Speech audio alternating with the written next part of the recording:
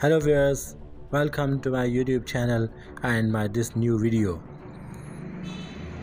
A professional australian basketball player for the oklahoma city thunder of the national basketball draft 2021 joshua james giddey is making rounds on the social media sites.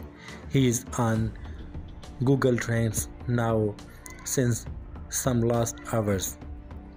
The reason for his training is that some of his videos are very popular on Twitter and many people are um, talking about him. So if you want to watch his original content you have to check it out on other social media sites. Thanks for watching